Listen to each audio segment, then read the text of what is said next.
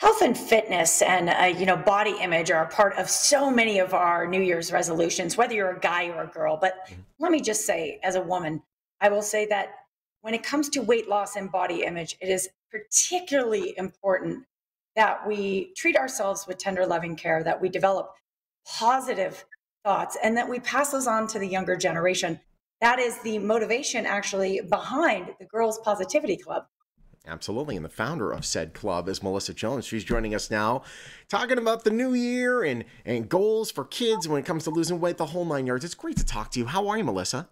Thank Hi. you so much for having me. Hi, I'm doing great. How are you guys? Doing pretty well. Listen, I, I I know when I was a kid, you know, and that's still to this day. It was a little chunky monkey, a little bit, but like you can't say that to a kid. You have to kind of like you have to come at it with a different viewpoint than we might have as adults. We're like, oh my goodness, I have to get rid of this. How do you approach having a positive body talk for your kids, but also getting them, you know, on the on the right on the right path? Yeah, you brought up a great point. I think a lot of us, even from growing up, we have these habits where we stand in front of the mirror and we can nitpick little things about ourselves, or we can say out loud, Gosh, I hate my arms, or, you know, I need to lose weight, or whatever it is. And what we have to be conscious of is the way that that can be interpreted by our kids. And really focusing more on yes, it's good to be healthy and it's good to put these good habits in place that we're all trying to incorporate in 2022, but really making it so that the kids are thinking of it more as getting healthy rather than getting skinny. Mm-hmm. Or what can my body, you know, what are the positive qualities that I have in my body, even if I have some health goals too? For sure. And so it's all about those those positive sides of being in shape and and and maybe shedding some pounds. And that usually is more like healthy eating, physical activity, interaction with others, you know, um, volunteering. Those are the positive sides. And yet I, I want to touch, especially for young ladies, I grew up with a very, very body conscious um, culture around me. And I think it's extremely dangerous for young women when they think that what I accomplish and what I have to offer the world depends first on how pretty I am.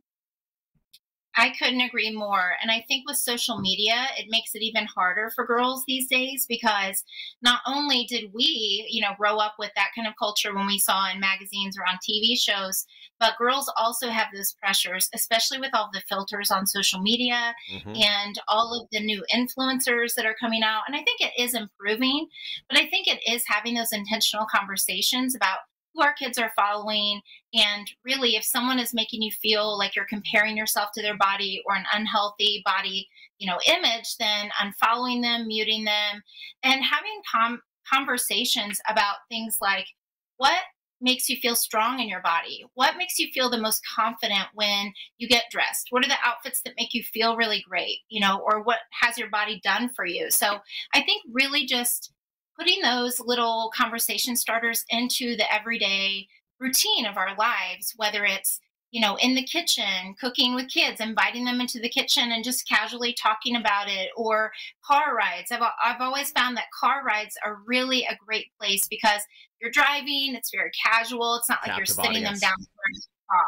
Yeah. yeah they can't, go in the other room on you. yeah. you know exactly yes uh, you know I, I, you mentioned social media and it's kind of like I, I would say since probably the 50s like how media in general like if you don't see yourself reflected back you're saying oh wow she's skinnier than i am or he's you know look he has abs and i don't you start to get this thing and now you know cosmopolitan magazine teen bop mm-hmm. now you're on you're on instagram and if you've been looking victoria's at a few secret. of those photos yeah victoria's secret If you're looking at a few of those photos and then you go to your suggested literally all that's being thrown in your face is people that are like built like like like space shuttles sort of technology. Like how do they look like that? Unbelievable. And that's so yeah. unhealthy for these kids. So how do we communicate, you know, a positive body image to to our children when this is what they're bombarded with? Yeah, I think it's putting those those habits in place and really very simple things. So, one thing that you can do for your daughter, and I found this to be really effective. Parents have told me that they love doing this with their daughters, especially, and, and boys too. I've done it with my son, is putting little notes on the mirror that is a positive, you know, a compliment of some kind to them, or taking an expo marker and writing them on the mirror, or just leaving them a little note. That's really a positive way also going on walks. A very simple thing to do with your child is to go on a walk with them and talk about your we call it yays of your day. What are the yays of your day? And really then that opens up you know a lot of times they'll say yays and nays you know a high and a low. And good, getting into that habit of moving your body in a healthy way that's not too intense like we're going to go do crossfit or whatever it is you know yeah. just really helps and having those casual conversations and not being afraid to say that to your kids like how are you feeling about your body? Do you feel good when you when we go to the pool and you wear a swimsuit? Like what kind of swimsuit makes you feel the most confident?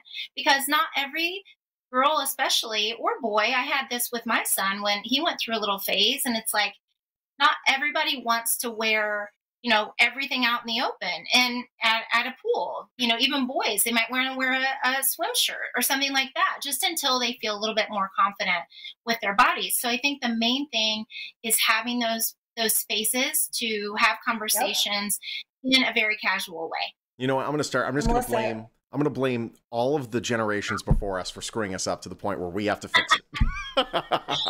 it's definitely their fault. But yay. And I, I just want to say, I actually, I didn't want to interrupt you, Sean, but I mentioned Victoria's Secret as a company that I've seen actually really start to turn around yes. and show images of real girls, yeah, real human beings, yeah, as well. So there, is, there are there are a lot of uh, a lot of changes being made. But Melissa, thank you so much for joining us such an important conversation. Honestly, I could have you back and talk this talk this through because it's affected me uh, quite a bit. So thank you so much. Me too. Thank you so much for your time, and I'm always happy to to share any kind of insight that will help people. Absolutely. And now listen, you can find a whole bunch of insight on her website. Wow, that was very good. Uh, girlspositivityclub.org if you want to learn more. You can also follow them on social media as well. Social media that's not bad for you.